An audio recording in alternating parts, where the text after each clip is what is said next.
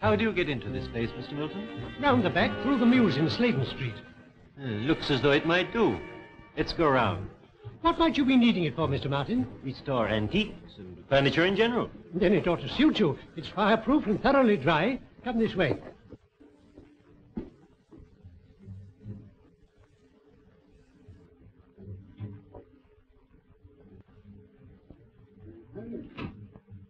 What's left of the booking office now?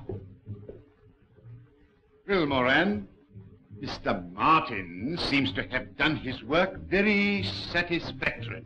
I carried out your instructions in the letter, Professor. Now, Moran, let's get our bearings. That wall, I take it, faces Peldon Street. Exactly. Originally the main entrance to the station. And the lift shaft? Here, on this side.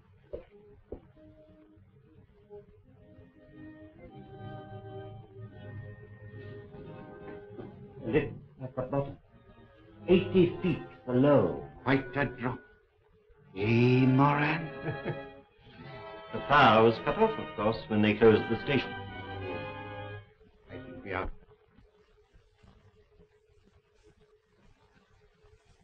How about lunch, Mr. Holmes? What do you fancy? A nice little bit of boiled cod? My dear Mrs. Hudson, life is sufficiently dull at the moment without adding boiled cod. There's nothing better for an invalid. Yes, but I object to being referred to as an invalid, Mrs. Hudson. I'm a little run down, possibly, but So I should think. With all the tobacco you smoke, you'll be getting nicotine poisoning next. well, in that case, Mrs. Hudson, I shall always stick to you. Ah, oh, Mr. Holmes. That'll be the doctor.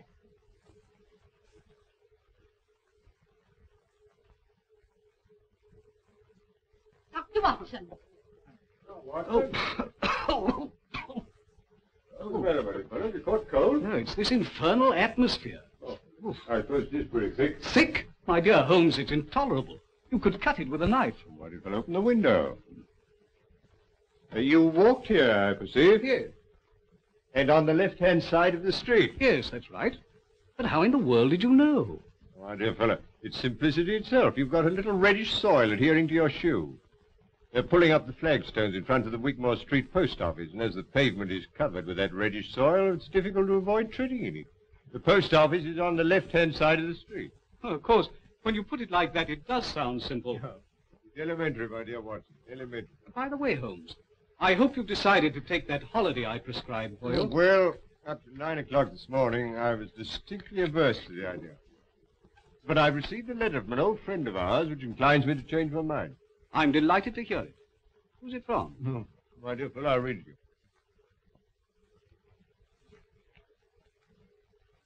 My dear Holmes, I'm sending you and the doctor yet another invitation to visit me here. Believe it or not, it's 20 years since you disposed of the hound of the Baskervilles for me. Ah, bless my soul, can you believe that, Watson? Seems impossible to me. Amazing. My daughter Diana is anxious to make your acquaintance. Yes, but she's engaged, Watson. To young Trevor, a neighbor of theirs. I know you hate the country just as I hate London.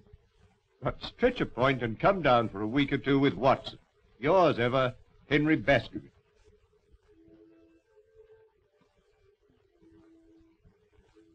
Father's asked Sherlock Holmes to come here for a few days. Why? Family hound come to life again? Oh, don't be absurd. Hello, you two youngsters. Oh, Dad, do you really think there's any chance of Mr. Holmes coming here? Well, as you know, I haven't been able to persuade him in the past. Uh, for the post. Oh, uh, thank you, Jack. Holmes is a creature of habit. He likes to bury himself in Baker Street and work out his problems with the aid of, I don't know how many ounces of tobacco a day. I must say I'd like to meet him. He sounds a terribly brainy sort of chap. I wonder if he's any good at spotting winners. Oh, no, no. Holmes's hobby is spotting criminals, Jack. I don't think racing's quite in his province. Well, Watson, what about it? Could you get away for a fortnight? Yes, I think so. The hoped-for epidemic of measles hasn't materialized. Things are rather slack. I could get a locum to carry on for me. Good, good. And I will stretch a point and write to Baskerville.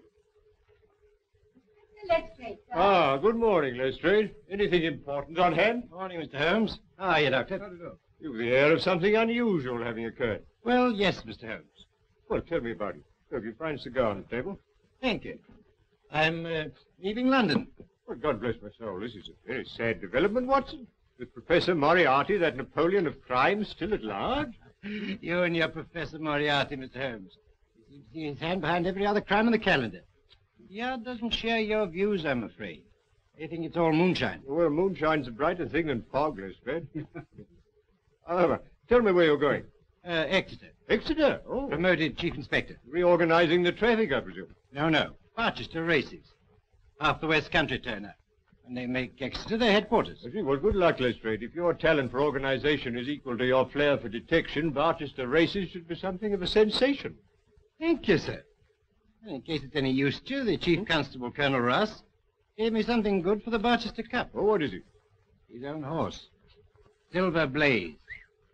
Well, I'm afraid I'm not much of a betting man, Lestrade, but Watson here thinks he knows something about racing. Silver Blaze.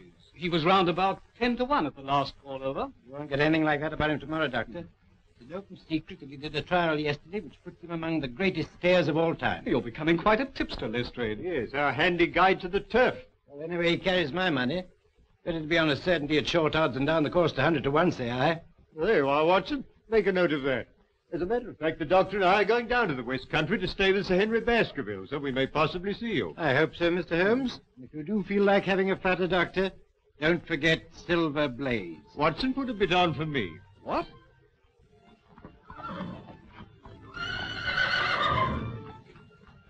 Looks fit enough, Colonel. Best horse I ever owned. Hey, Straker? You all right, sir? It'll take a good one to beat him. You fancy Lord Manston's horse, don't you? Desborough, yes, I have got a bid on him. Uh, we'll see how they stand at the betting tomorrow. There's a call over today at the Victoria Club. We'll probably hear all about it tonight. Oh, uh, before I go, could I have a word with you alone, Colonel? Certainly. What is it? Well, I... I want to ask you a favor. I hope you won't mind. Could you lend me... Well, I really want 500 pounds. Monkey. That's pretty cool, isn't I'm it? in the devil of a hole, or I wouldn't ask for it. Yeah, but why come to me? Why not Sir Henry Baskerville? Well, it's to do with racing debts, and Sir Henry's terribly down on racing. Well, you, uh, have you tried your bank? You've got security. Mortgaged up to the hilt. Oh, well, what about, uh, what about one of those financial firms? No, that's no good. I've been dealing with old Bingham. He won't spring another fiver. What, Albert Bingham, the moneylender? Oh, I'm sorry. There's nothing doing. Well, thanks all the same.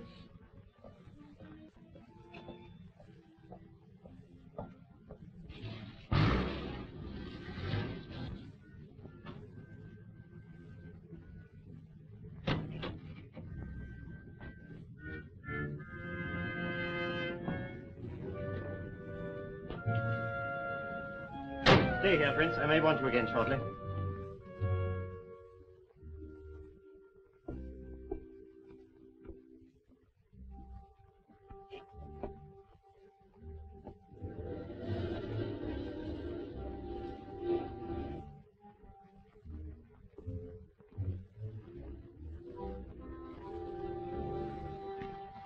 Those instructions, Barton.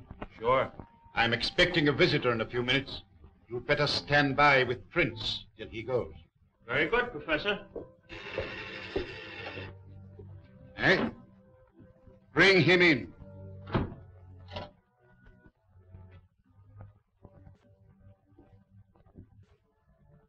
Ah, sit down, Mr. Stanford. I understand you wish to consult me. Yes, that's right. What is your business? Look here, Professor. I'm a commission agent in a big way, I am and fully aware who and what you are. in that case, I'll come to the point. I've laid bets amounting to over £150,000 against Silver Blaze for the Barchester Cup, when his price was 100 to 6 against. You follow that? Perfectly. His trial yesterday proves he's a smasher, a world beater.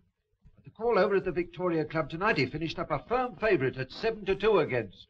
I can't lay off anything to speak of, so to cut a long story short, if Silver Blaze wins the cup, I go out of business. I see. And you wish me to arrange that Silver Blaze does not come under starter's orders. Is that it? Exactly. Hmm. I must confess that this is a somewhat unusual experience, even for me. I've had some little association with the turf, really as a form of recreation. And I have found in general that bookmakers are an honorable body of men. See here, Professor, I haven't come Sit here... down. I presume you are aware that what you are asking is out of my usual line of business. I thought you were prepared to take on anything for a consideration. Quite. It depends on the size of the consideration. Well, I've told you what I stand to lose. What's your price? Ten thousand pounds. Pretty steep, isn't it? It's not my custom to argue about these matters, Mr. Stanford. Take it or leave it. Very well. Then that settles it. Now, Mr. Stanford, a few details. Where is the horse trained? King's Pyland, Dartmoor. Colonel Ross's training stable. Right. Very good. Now give me all the information you can about the Colonel's employees and their neighbors on the moor. You know anything about them? Yes, it so happens that I do. As regards his neighbours, there's Sir Henry Baskerville, young Trevor, and uh, Silas Brown, who trains for Lord Manston at Capleton. As to his employees, there's Straker, his trainer, Mrs. Straker, Hunter, the head lad, and the usual stable boys, and Where's the bloke you drove here to see the boss? Fellow named Stanford, bookie. Did he tell you anything? No. Don't suppose he's come round here to hand out tips, do you? So he's pretty deeply involved. up to his neck. I know everything about him. He's bet with me for years. He owes a packet to Albert Bingham, the moneylender. Bingham.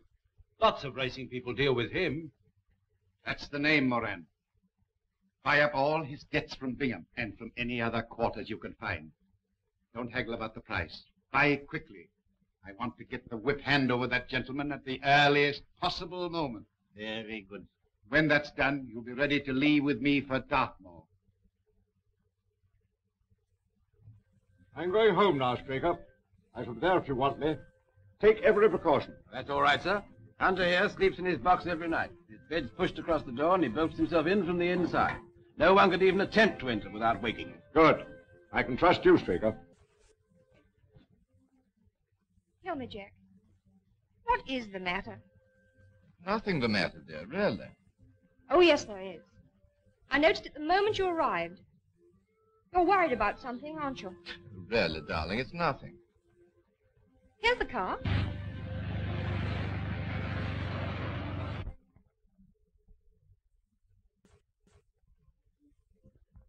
They're here, Dad. Arrived, have they? Good. Well, here we are, Watson. Come along.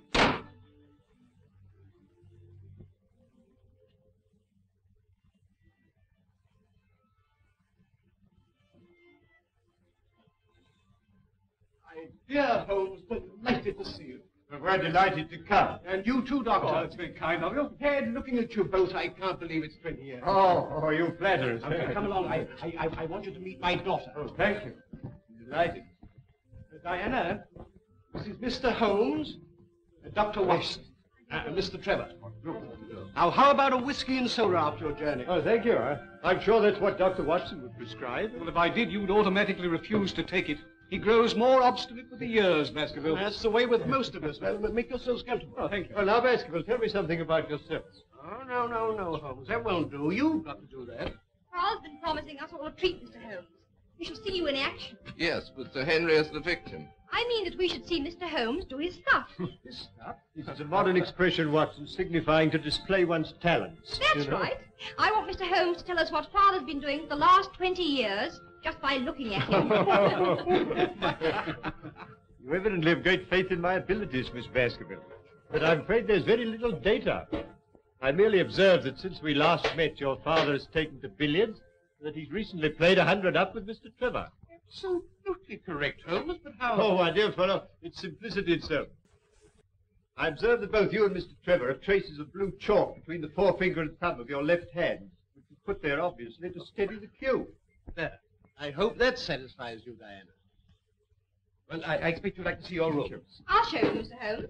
You'll stay and dine, Jack? Thanks. If you'll take me as I am and don't mind my rushing off immediately afterwards, I've got to ride over the moor to King's Pyland. I'm trying to get Straker to persuade Colonel Ross to buy one of my ponies. That's all right, my boy. Come along.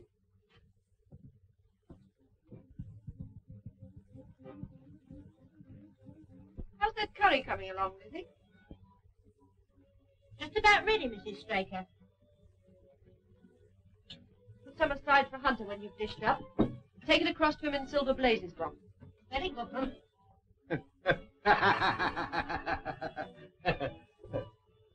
Everything all right, Hunter? Yes, thank you, sir.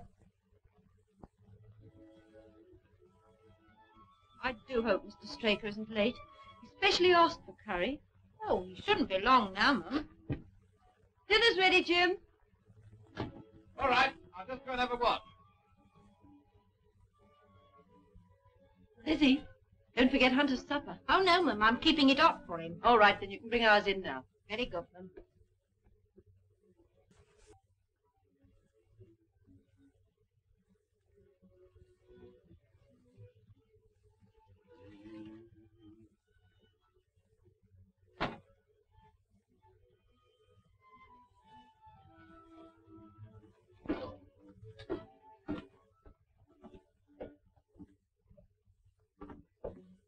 Yeah.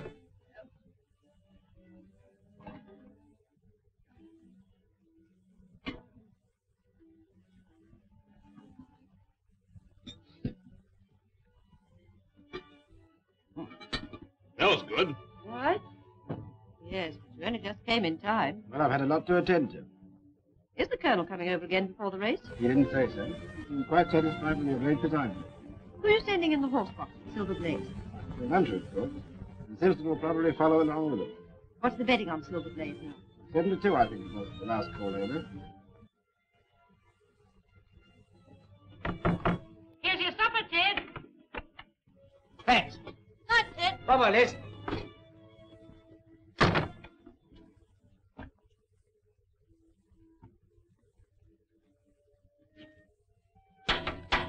Anybody about? Oh, it's you, Mr. Trevor. At home? Yes, sir.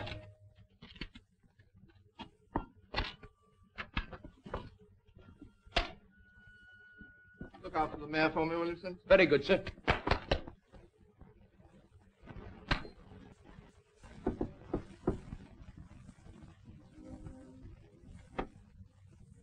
Ah, Mr. Trevor. Trevor not butting in. Not a bit. Come in. Called round to have a chat about that pony. Sit down. Have a drink? Please. Whiskey?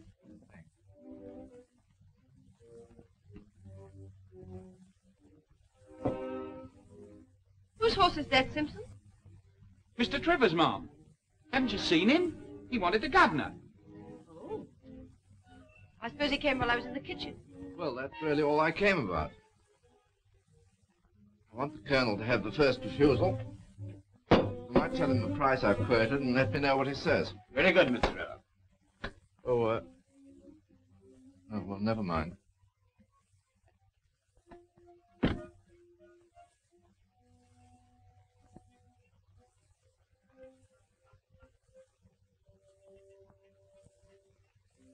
Mary. Mary. Where have you been? Just returned round the yard. Ah. You have a look at Silver Blaze? No, I just went for a breath of air. By the way, Silver Blaze doing another trial tomorrow. Yes. But the last before the race. Oh, well, I'm for an early night. Doesn't seem to be much to stay up for.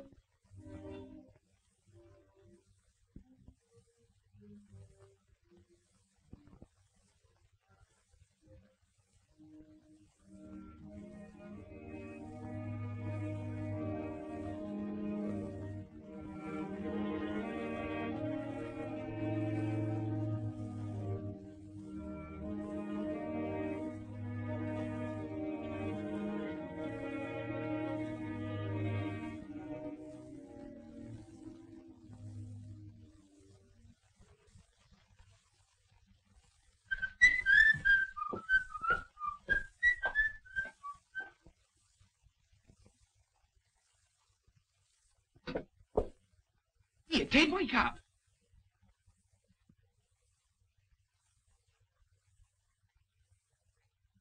What that?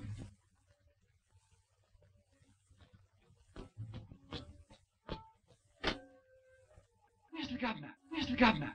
Why, isn't he in the yard? What's up? Is anything wrong with Silver Blaze? He's gone. Gone?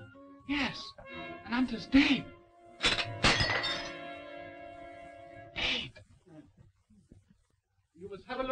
This morning, Holmes. Oh, thank you. I'd like to. There are a few improvements since you were here last. Yes.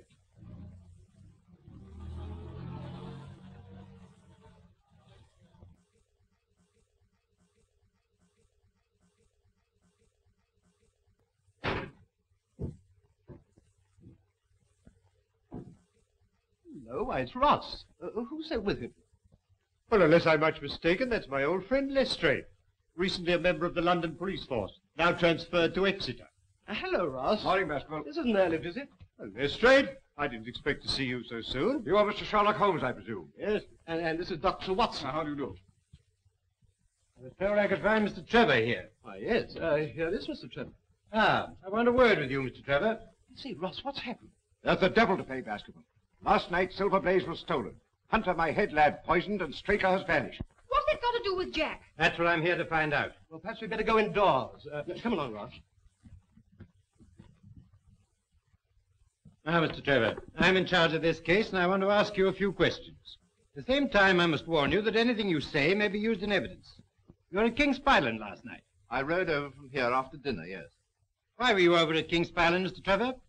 See Straker about the sale of a polo pony. At all? Yes. Why? You didn't make that an excuse to try and get information from the stable boys about Silver Blaze, for instance. What the devil do you mean? Not interested in Silver Blaze, perhaps. I'm interested in the race, certainly. So are thousands of other people. Now, Mr. Trevor. Uh, just one moment, Lestrade, if you would allow me. Mr. Trevor, you say you discussed the sale of a polo pony with Mr. Straker. Was anyone else present? Uh, no. But not even Mrs. Straker? No. Quite. Now, Mr. Trevor, you said just now that you weren't particularly interested in Silver Blaze. You haven't by any chance to have your betting book on you? I think so. Why? Do you mind if I see it? It's my duty to tell you that I can't demand to see it, not now, that is, but... Here it is.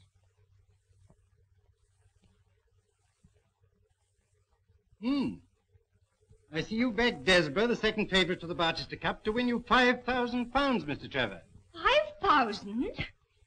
But, Jack, you told me you only had a few pounds on it. I'm sorry, dear. I had my own reasons. Before you go any further, Lestrade, may I ask if it's your intention to apply for a warrant against Mr. Trevor? Not at the moment, Mr. Holmes. It's my duty to warn him. I'm in your hands, Inspector. I won't run away. As a justice of the peace, I will be answerable for Mr. Trevor. You better stay here, Jack, while the investigation's going on. Well, thank you, Sir Henry. Very well. Now, Mr. Holmes, I may as well be frank with you. There are things in this case which completely baffle me. Really? You surprise me. I was saying to Colonel Ross that I'd be glad of your cooperation. Well, the case certainly has some points of interest. Uh, but uh, what does Colonel Ross say? Personally, I should prefer to leave the case in the hands of the official police force. If you don't mind my saying so, Mr. Holmes, I've not much use for amateur detectives. Oh, come, Colonel, come. Uh, even they have their uses. Of course I've heard of you, Mr. Holmes. They say you've never been beaten. Well, it's true I've been generally successful. Well, I hope you'll be so with me. I wish to leave no stone unturned to avenge Straker and recover my horse. Very well, Lestrade, I'm at your service. Thank you, Mr. Holmes. I'll be getting along. I'll see you later at King's Pyland. But oh, really, Holmes, I must protest. You're down here to recuperate, you know. Undoubtedly, my dear doctor, but only last night you suggested a tonic. Well, here is one ready-made. Yes, please, Mr. Holmes, for my sake and Jack's. You are, Watson? That settles it. Miss Baskerville, you may rely upon my doing all I can. I had to have the body taken to the cottage to make my examination, but nothing else has been disturbed. That hasn't taken us long, Colonel. Oh, no, they're very good roads in Devonshire. Mr. Holmes is coming over from Baskerville Hall to give us what help he can. He's been some slight assistance to me in the past, and anyway, he can't do any harm. Ah, here is Mr. Holmes. Dr. Salter, Mr. Sherlock Holmes, Dr. Watson. This is Silver Blaze's box.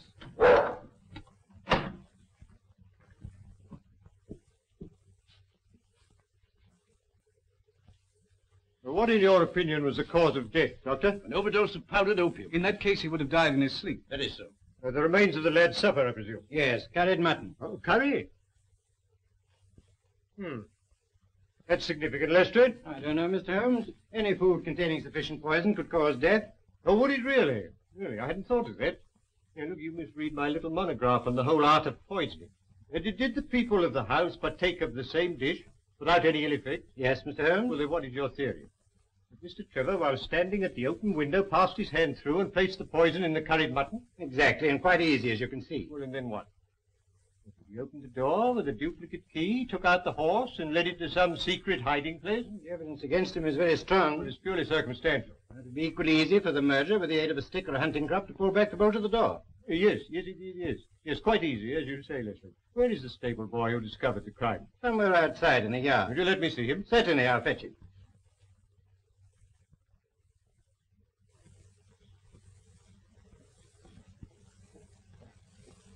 Your name, Simpson? Yes, sir. Opium had a distinct taste, is it not, Doctor? Yes, not unpleasant, but quite distinct. Oh, quite. I thought so.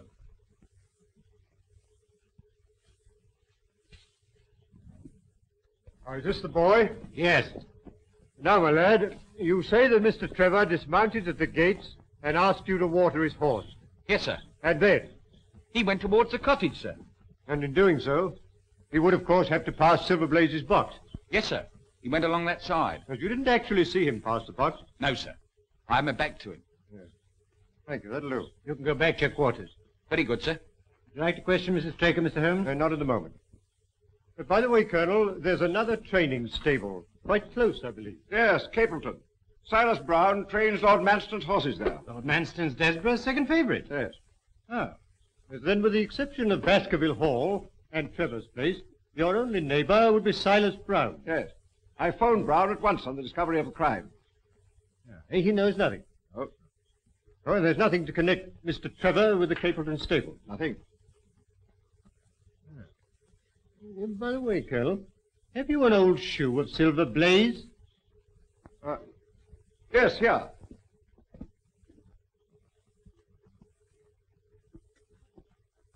How about this one? Oh, yes. Here, thank you. Thank you. I'll put it in my pocket for luck. And have you a photograph of the horse? Think so?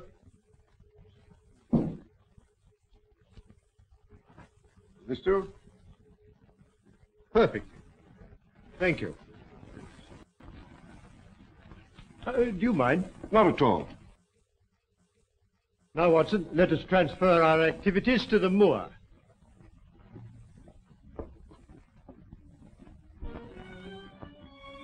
That building on the skyline, I presume, is Capleton. Yes.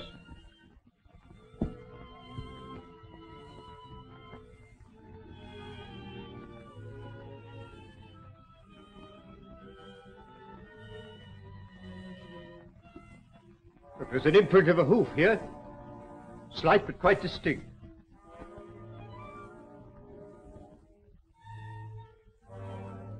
An exact fit. And here a footmark. Good Lord! What's that? Watson. It's Straker! Obviously, he followed the thief, caught him up here, there was a struggle, he paid with his life. And here's the torch he used to trace the horse.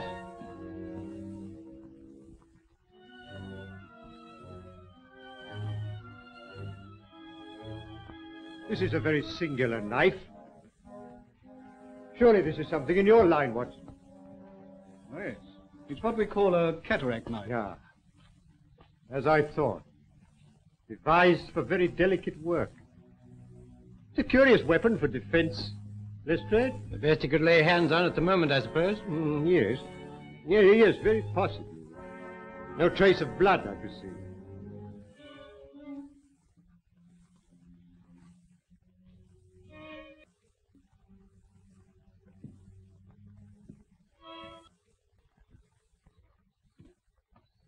Why, that Straker's coat. This is curious, Lestrade. What, Mr. Holmes? It looks as though the murderer let him take his coat off before the struggle. Couldn't he have taken it off afterwards? Well, that's one explanation. Though it's difficult to see with what motive. However, take it, Lestrade, and make a careful inventory of everything you find in the pocket. Very good, Mr. Holmes. And now I suggest that you and the Colonel return to King's Pyland and arrange for the removal there of the body. And then perhaps you'd be good enough to meet us with the car uh, by that bridge in, say, an hour's time. Dr. Watson and I are going to take a little walk over the moor. Very good, Mr. Holmes. In an hour's time. Now, Watson, let us leave the question of who killed Straker for the moment and confine ourselves to finding out what has become of the horse. Well, how are you going to set about it? Well, a horse will always herd with its kind. Silver Blaze, if left to himself, would either have returned to King's Pyland or gone to Capleton. If my assumption is correct, that is our direction. Hoof prints again. Let's carry on a little further. Look, Watson. Look here. Here's a man's footprints beside the horse's. A man wearing square-toed boots. Well, the horse was alone before. Precisely. It was alone before.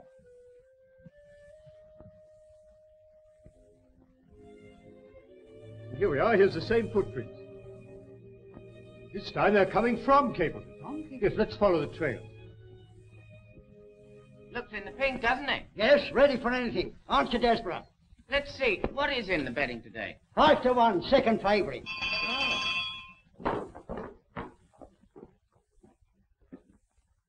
Journey's in, Watson. We don't want any lightless here. I only want to ask a question.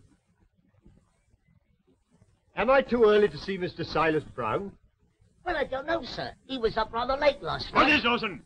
No gossiping. Get on with your job. Very good, sir. And what the devil do you want here? Five minutes talk with you, my good sir. I've no time for talking. And we don't want no strangers here. This is a matter of vital importance.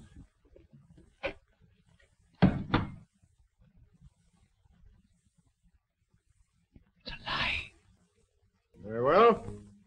Shall we talk it over here or inside? All right. Come on. I shan't keep you more than a few minutes, Watson. That's all right, Holmes. Now, Mr. Brown, I'm at your service.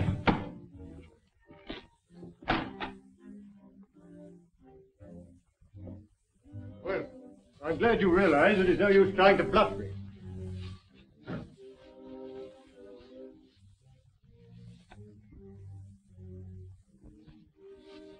Yes, that's quite a clever bit of faking, Brown.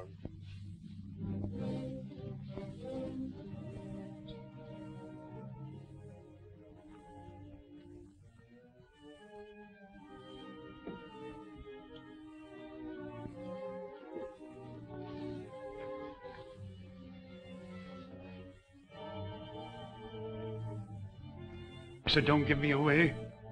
I'll return the horse. Very well. But providing you do as I tell you.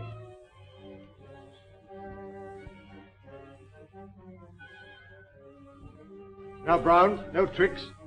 You understand? I understand, sir. Your instructions shall be carried out faithfully. Very well. You guard him night and day. And engage a special detective escort when you take him to Barchester. I will do everything you say, sir. The horse shall be there. Very well. But remember... You may trust me, sir. Yes. Yes, I think I can.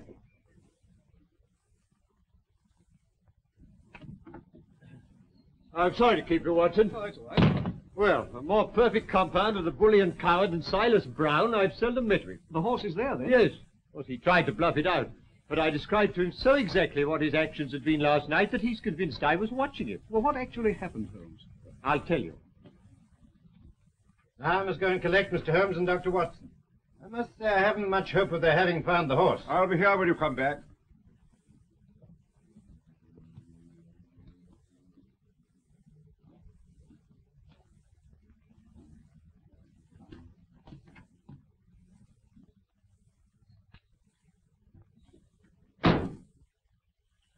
Surely Brown was running a tremendous risk. Oh, my dear Watson, Silas is an old horse faker. He left nothing to chance. You actually saw the horse? Yes. Well, I must say this for Silas. He certainly made a good job of it. Well, aren't you afraid to leave it with him? My dear fellow, he'll guard it as the apple of his eye. He knows that his only hope of mercy is to produce it safe. Horse stealing is a serious crime. Uh, Colonel Ross doesn't impress me as a man who'd be likely to show much mercy in any case. Well, the matter doesn't rest with Colonel Ross. I follow my own methods and tell as much or as little as I choose. I don't know whether you've observed it, Watson, but the Colonel's manner to me has been somewhat rude. I'm inclined to keep him in suspense. Say nothing about the horse. Of course not, Holmes, without your permission. Good old Watson. Ah, here's Lestrade with the car.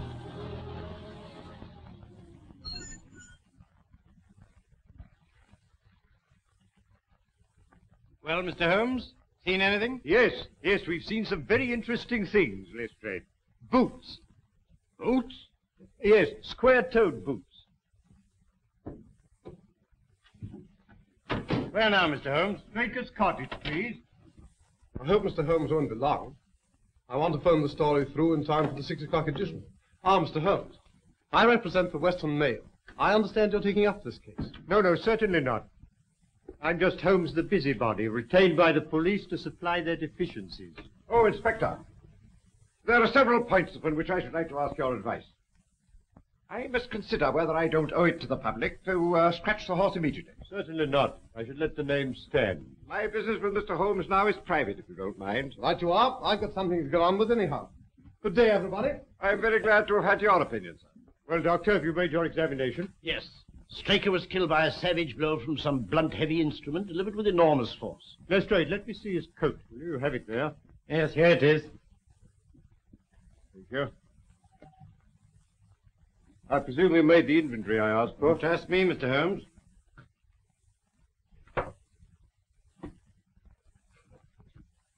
Letter in envelope. London postmark. Pipe.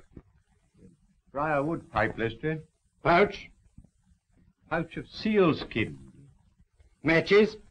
They're foreign. Telegram.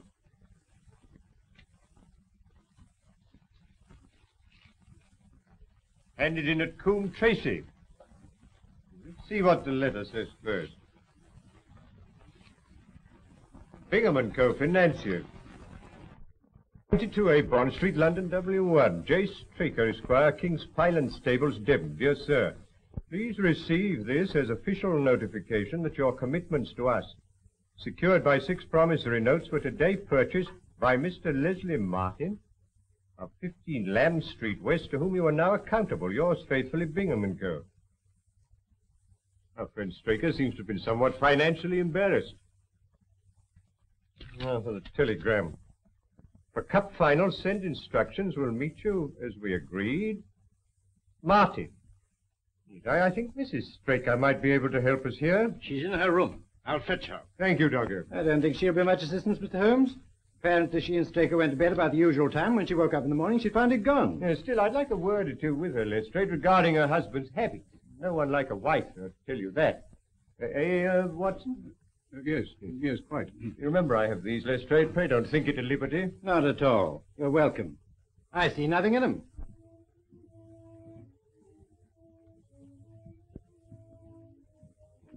Mr. Lestrade, have you discovered anything? No, Mrs. Straker. Mr. Holmes has come over to help us. We shall do all that's possible.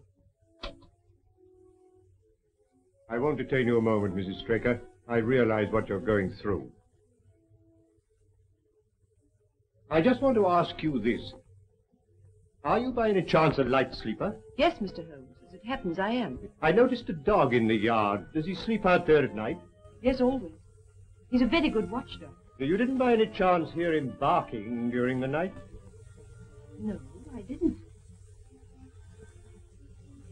No. No. Just one other thing. Was your husband interested in football? Oh, no. Racing was the only thing that interested him. And there's just one further question, Mrs. Straker. You had curry for supper last night. Did you mention that to anyone outside the house? Why, no. No, thank you, Mrs. Straker. I don't think I need intrude upon your time and patience any longer. Thank you, Mr. Holmes. Colonel, you have a few sheep in the paddock. Have you had anything wrong with them of late? No, I don't think so. Oh, now you mention it. I believe that one of my stable lads did report that three of the sheep had gone lame. Ah. Why do you ask? We're just a long shot, Colonel. A very long shot. Lestrade, let me recommend to your attention this singular epidemic among the sheep. You consider it important, Mr. Holmes? Oh, yes, yes, exceedingly so. Is there any other point to which you want to draw my attention? Well, uh, to the uh, curious incident of the dog in the night time. The Dog was perfectly quiet in the night? No, that was the curious incident. Oh. Well, I'm going to Baskerville Hall. Will you be following? Yes, yes, very possibly, Lestrade.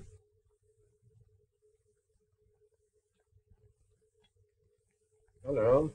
Hello. Hello. Could you please give me Coombe Tracy Post Office? Yes. Yes, I'll hold on. Coombe Tracy is a small village, is it not? Yes, just a hamlet. Then the postmaster would likely to remember any strangers who came into his shop. I should think so.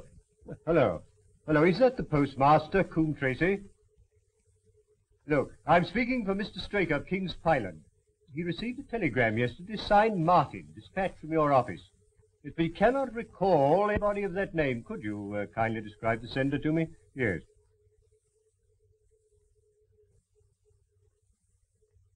Oh, there were, there were two of them. I see. Thank you. Thank you. I'm very much obliged to you. You think the telegram's important? Very much so, Watson. Well, au revoir, Colonel. We've had a charming little breath of your beautiful Dartmoor air. Then you despair of arresting the murderer of James Straker. Well, there are certainly grave difficulties in the way, but I've every hope that your horse will start, and I beg you'll have your jockey in readiness. And you've nothing definite to tell me? When we meet at the races, Colonel.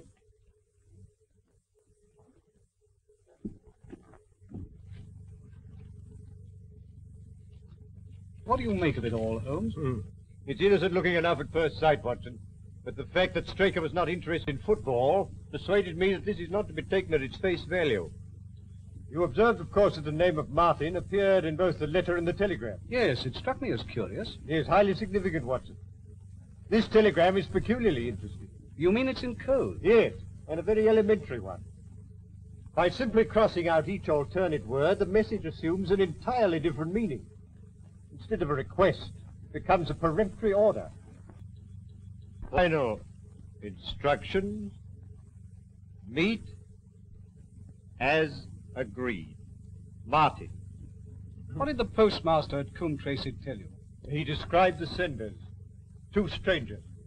Unquestionably Moriarty and Moran.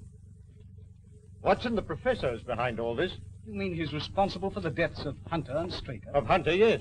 Of Straker, no. In fact, I fancy that Straker's death was the most unfortunate thing that could possibly happen from Moriarty's point of view. All through the season, my luck was dead out. I found myself in trouble to the tune of four thousand pounds. I went to Bingham and raised what I could. And as a last plunge, I've backed Desborough to win me five thousand. Make or break. Well, why didn't you come to me, my boy? Well, you're not a betting man, Sir Henry, and I was afraid you wouldn't understand. That's why I kept it dark, even from Diana. And now that loathsome inspector. Oh, come now, it's no use calling him names. In, in view of these bets, he'd every reason to be suspicious. I don't care. He's a thoroughly nasty person. I disliked him from the first moment I met him. Inspector Lestrade. Any news, Inspector? Yes, very grave news, Sir Henry. We found Straker's body. Body? Do you mean he's... Murdered. On the moor about a mile from King's Pyland. Sherlock Holmes takes up the case. Sherlock Holmes, Moran. Once again, that man is crossing my path. What's this news mean, Professor? What's gone wrong? What does this man Holmes know? I tell you, if Silver Blaze goes to the post and he's fit... There is a big difference, Mr. Stanford, between a horse going to the post and winning the race. You've had my assurance. I am not in the habit of failing my clients. Moran, tell Barton to take Mr. Stanford home, then come straight back. Yes, sir.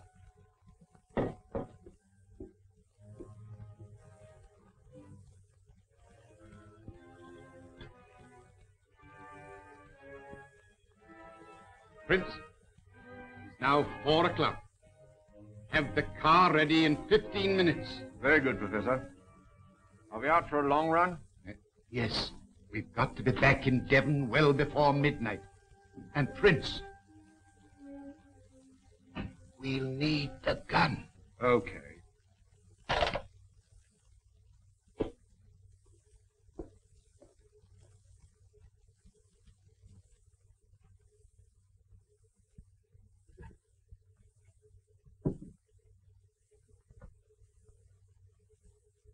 What have you got there, Prince?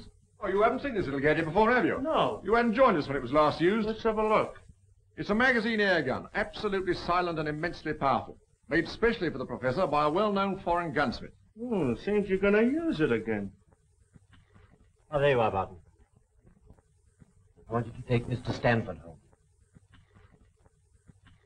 Yes, we're in deeper waters than you think, Lestrade, but we must take the case one step at a time. Now, I've progressed so far, I'm glad to say, as completely to exonerate Mr. Trevor. You've got to convince me, Mr. Holmes. I've every hope of doing so. Now, you will agree that Hunter was murdered in order that the horse could be stolen. Exactly, we all know that. When I examined the remains of Hunter's supper, I remarked on the fact that it consisted of curry. Yes, but I still don't see. Well, perhaps I can help you to see. And one or two other things as well. That was the first link in my chain of reasoning. Hunter was poisoned with powdered opium, and powdered opium is by no means tasteless. Well, then, Mr. Holmes, why didn't the boy notice? By no means tasteless when mixed with any ordinary dish. Curry was exactly the medium which would disguise that taste. So, you remember that I asked Mrs. Straker if she told anyone they were having curry for supper that night, and she replied, no. Yes, I remember you putting that question. Well, it's surely too monstrous a coincidence to suppose that Trevor happened to come along with powdered opium on the very night when a dish was served which would disguise its flavor. Oh, that is unthinkable, Lestrade. That certainly is a strong point. And there's a further point, even more significant, Lestrade. The silence of the dog. Though someone had been in the stable and fetched out the horse, the dog had not barked enough to arouse Mrs. Straker, who was a light sleeper. And obviously, the visitor was some member of the household. Then what do you make of it, Holmes? One thing for certain. Trevor becomes eliminated from the case. Well, I confess, Mr. Holmes, in view of what you say, I, I don't know what move to make. Make no move at the moment, except to assure Mr. Trevor that all suspicions of him were unfounded. You know, we're old friends. As wrongfully to arrest the future son-in-law of Sir Henry Baskerville. I appreciate that. I'll speak to Mr. Trevor. Who's that taking my name in vain? Ah, Mr. Trevor. I've just had a little chat with Mr. Holmes, and I'm glad to say that he sees eye to eye with me. You quite understand that at the commencement of this case, it was my duty to follow up any clue, however slight. I don't mind telling you now that I never seriously suspected you. Well, he can't say fairer than that, can he? Well, I'm very glad you feel that way about it, Inspector. Yes, I still don't see how it helps us. Who did put the opium into the curry? Who did steal the horse and kill Hunter and Straker? My dear Lestrade, it's a capital mistake to theorize for you have all the evidence. It biases the judgment. Then you're not going to tell us anything, Mr. Holmes? Well, not at the moment, Miss Baskerville. There's one other link in the chain to be tested, and to do that, I'm afraid we must return to London tonight. Tonight? Yes, uh, Dr. Watson and I are sorry to have to run away like this. Well, there's nothing before the midnight train from Exeter. Dinner will be ready in a few moments. You've heaps of time to dine here in comfort before you go. Well, thank you. I, I shall be delighted. I hope you'll stay and dine too, Inspector. Oh, thank you, sir.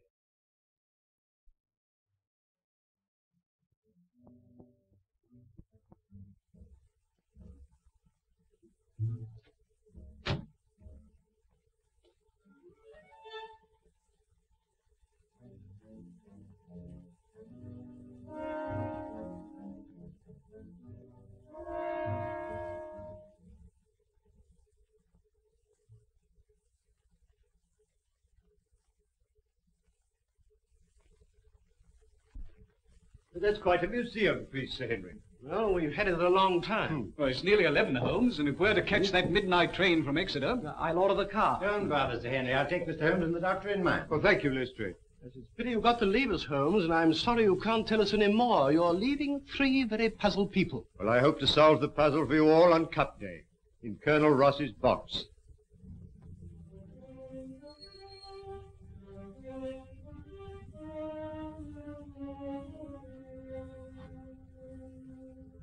What's happening? I think he's going, Moran.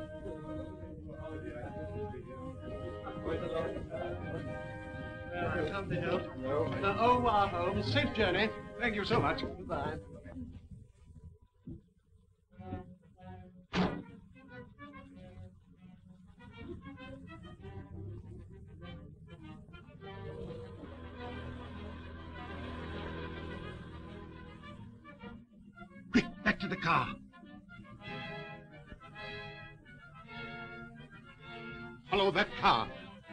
Get clear of the house, overtake her.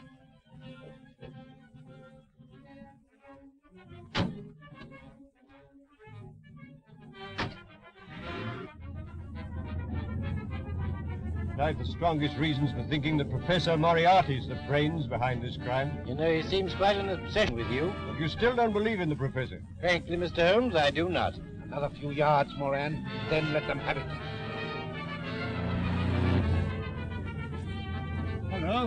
There's a car following us. Quick, down for your life.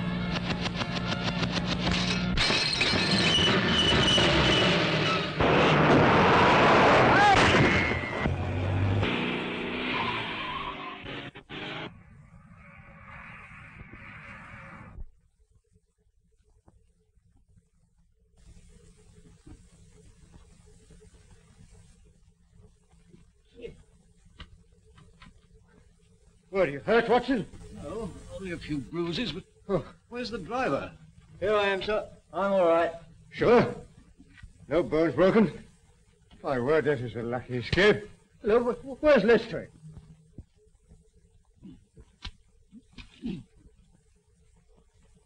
Watson, you seen Lestrade? Lestrade!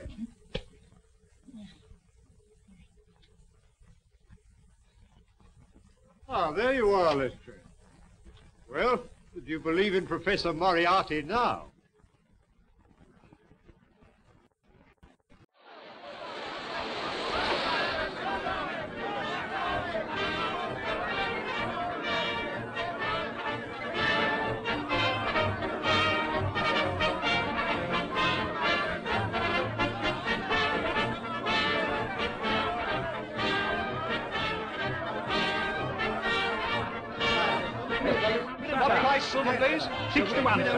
60 pounds to 10. Silver Blaze, 60 pounds to 10. Number 5, 6, 9. Silver Blaze, 5 to 1.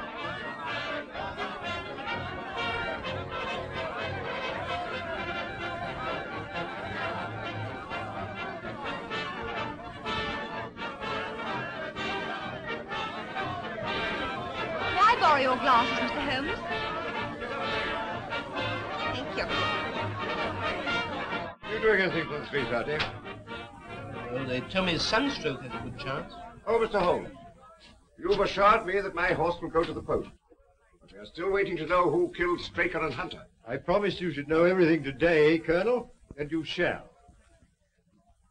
Ah, Watson, uh, you've been having a little flutter, I see. What? Well, if you want to conceal it, I suggest you find a deeper pocket for your betting ticket. it's all very well, Mr. Holmes, but we're waiting. Yes. Well, Colonel, in the first place, it will come as a shock to you to learn that Straker was a scoundrel, utterly unworthy of your confidence. Are you serious, Mr. Holmes? Yes, acting under the orders of a master criminal who bought up his debts and so had it in his power to ruin him, he poisoned Hunter and then took Silver Blaze out on the moor in the dead of night. I can hardly believe it. Straker? But to what purpose? It was his intention to use that singular knife, you remember I found in his hand, to nick one of the tendons of the horse. With your wide experience of the turf, Colonel, you know it's possible to do that subcutaneously and leave no trace. The result would be a slight lameness, which would put down a rheumatism or a strain in exercise. You say it was his intention. You mean he didn't succeed? No. I examined the knife. There was no trace of blood. But why didn't he do all this in the stable? Why take him out on the moor? Well, for the best of reasons. When so spirited a creature felt the nick of the knife, he would certainly have roused the soundest of sleepers. But How did you arrive at all this, Mr. Holmes? I found several clues, the chief of which was the knife. You remember my asking you if you'd found anything wrong with your sheep? Yes, I remember. When you told me that some of them had suffered from lameness, that confirmed my theory. That Straker, before tackling the delicate operation on the horse, had been practicing on the sheep. Good heavens. But who interrupted the plot? Who killed James Straker? I'll waive that question for a few minutes, Colonel. Hello, the numbers are going up. What number is Silver Blaze? Nine. Nine. Four.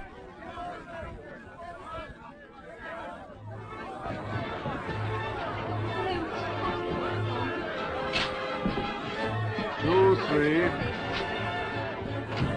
four, five, six. That number six. Why, my jockey's riding another horse. Silver Blaze doesn't run. Look, Holmes. Silver Blaze doesn't run. There's been a mistake. The six should have been a nine. Mr. Holmes, I relied on you implicitly. Yes, and you may still do so, Colonel.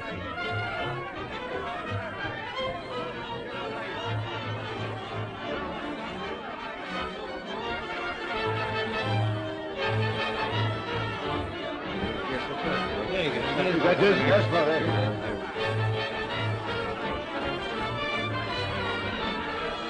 That's my horse. Yes, and that's the murderer of James Straker. What? What? It was a kick from Silver Blaze that killed your trainer.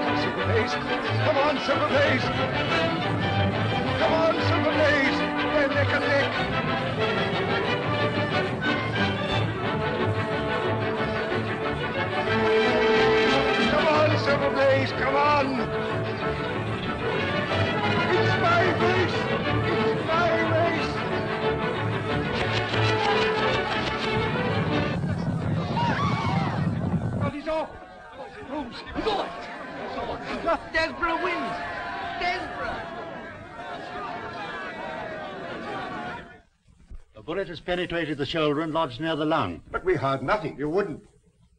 It was fired from an air gun. Noiseless and of tremendous power. How could it possibly be concealed in the crowd? In the interior of a specially designed kinematograph camera. Good heavens. But how on earth did you know? Well, I observed through the glasses a group of cameramen lined up near the winning post. I fancied I knew one of them. Mr. Holmes, what does this all mean? It means, Colonel, that you've been cheated of your race by the most cunning and dangerous criminal in London. Is there nothing can be done? Lestrade, who's the most likely man to give me some information on the betting for the cup? Difficult to say. Old Sam Silver's a member of the Victoria Club and a good friend of mine. Where can we find him? It's a hundred to one. He's in the Champagne Bar at this moment. I'll stay here with Merton if you don't mind. There's no question about it. Stanford had laid over a hundred thousand pounds against Silver Blaze and got left with it. Point him out to me. There he is, Mr. Holmes, in the dark suit and the bowler. Thank you, Mr. Silver. Watson, I want you to take particular note of that man. Not a word, Sam. Trust me. Excuse me, Mr. Holmes. You can rely on me to look after this. Yes, yes, but I think you need a little unofficial help. Uh, Just to supplement your usual happy mixture of cunning and audacity. Is there anything I can do? Yes, my dear Watson. A job that involves tenacity of purpose, of which, my dear fellow, you've given me so many proofs. Look, I want you to remain here and never lose sight of Stanford. Lestrade and I will drive straight back to Baker Street. Yes. Lestrade, will you give instructions for your car to be at Dr. Watson's disposal? Certainly, Mr. Holmes. And you might tell your chauffeur to get into Mufti. As soon as Stanford leaves, follow him. When he arrives at his destination, send the car back to Baker Street. Then go to the nearest phone box and tell me where you are and wait for me. Is that clear? Perfect. Watson's a long time phoning. patience, Lestrade, patience. Concentrate on the game. Yes, come in. Mr. Holmes, it's nearly midnight. You really must eat something. Can't I tempt you to a nice bit of haddock? My dear Mrs. Hudson, you've always been a temptation to me, but Addick at this moment is not. How about a nice sheep's head? No, thank you, Mrs. Hudson. I suggest you go to bed, Mrs. Hudson. Oh, very well, sir.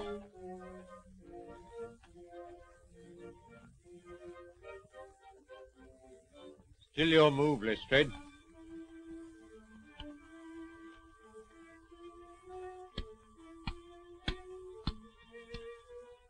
My mind's not on the game, Mr. Holmes. I wonder what has happened to Dr. Watson. Well, now, let's see. It was five o'clock when we left the course, and it's now Well, now it's nearly midnight. We ought to hear something soon. But tell me, Mr. Holmes, why did you leave Dr. Watson to do the trailing? Why not yourself? Because, my dear Lestrade, when you set out to draw a badger that's gone to Earth, you send a ferret down after it, while the man with the gun remains outside. Professor Moriarty is the badger, Dr. Watson is the ferret, and I, my dear Lestrade, am the man with the gun. I see. And Stanford? Well, Stanford, if he's a wise man, will go straight to Moriarty with whatever price he's paying.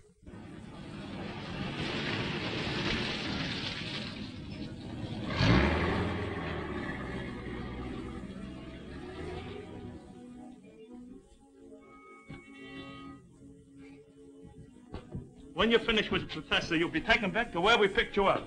You got the necessary on you, I suppose? Yes, of course. Okay.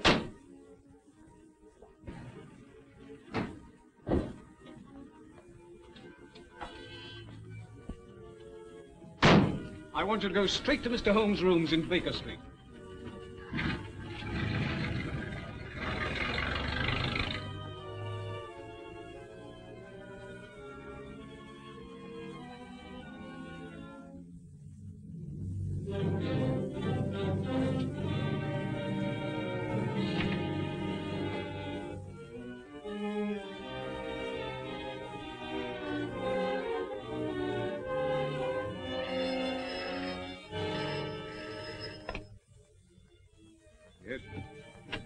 That you, Holmes?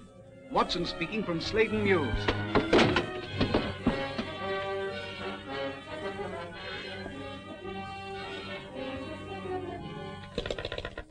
Watson! Quick, Lestrade, there's something wrong. They got Watson. Inspector Lestrade chauffeurs sir. Good. Drive us the way you dropped Dr. Watson. Right.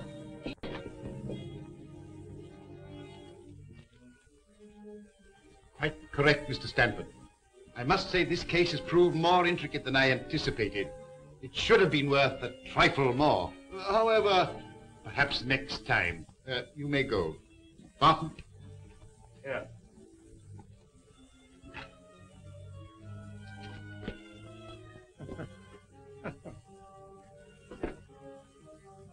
Next to Mr. Holmes himself, I don't know anyone who'd be more welcome.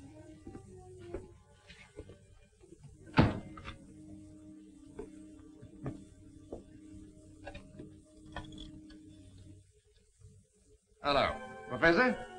Who do you think I got here of all people? Now. Dr. Watson. Eh? Watson, did you say? Dr. Watson? What's he doing here? Moran. Yeah. Yes. Caught him prowling around the yard. Shall I bring him in? No, not just yet, Prince. I leave him alone with his thoughts for a while. Nothing like a little suspense. I imagine that three weeks' wait for the hangman is infinitely worse than the final interview. Eh, Moran?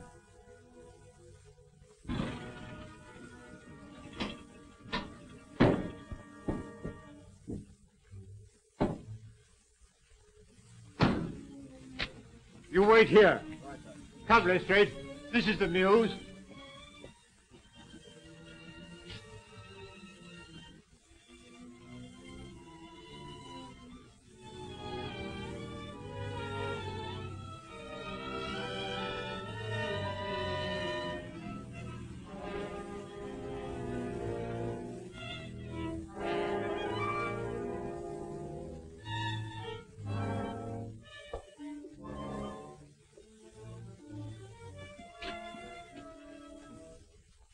Looks pretty solid, Lestrade. What building is this? This must be the back of the old Felden Street Tube Station.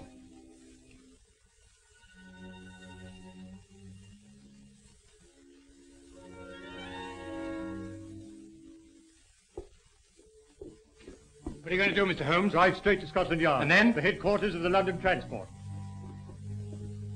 Now, Moran, I think we'll interview the doctor. that you, Prince? Bring in Dr. Watson. right now.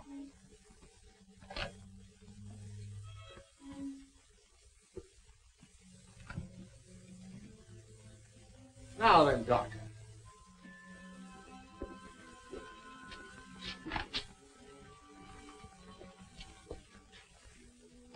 This should be most amusing, Moran.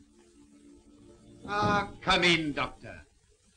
I have had the pleasure of several interviews with Mr. Holmes, but never before with his talented friend and colleague. Won't you sit down?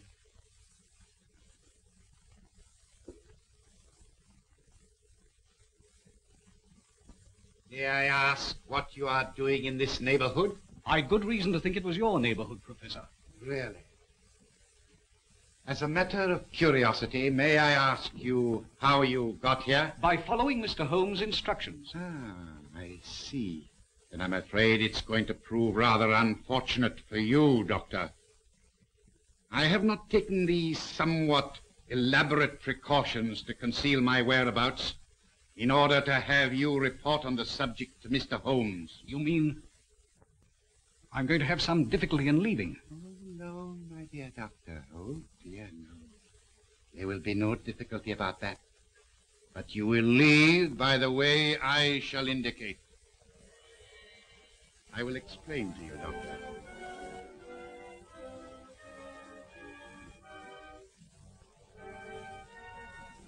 You are now in what was the Peldon Street Tube Station.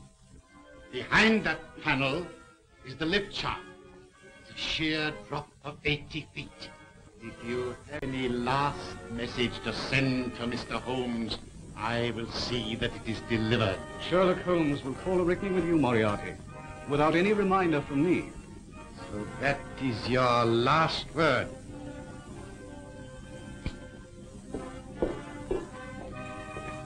Very good. I will now remove the panel and wish you a swift journey.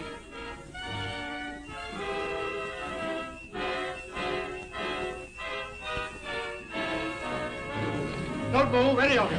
Huh? Except you, my dear Watson, who I'm sure will be more comfortable with us. You must excuse me for trespassing on your private property. I've had the lift put in order again. You clever... Uh, no compliments, please. I arrest you, Robert Moriarty. On what charge? For being concerned in the murder of the stable boy Edward Hunter. And for an attempt on the life of Mr. Sherlock Holmes, Dr. Watson, and... That'll do to go on with, Lestrade. When the professor has answered to those charges, there will doubtless be a number of others to occupy his attention. Listen, Holmes. There's no prison can hold me. You know, I almost wish that were true, Professor. Life will be very dull without your activities. Watson, might I trouble you for a match?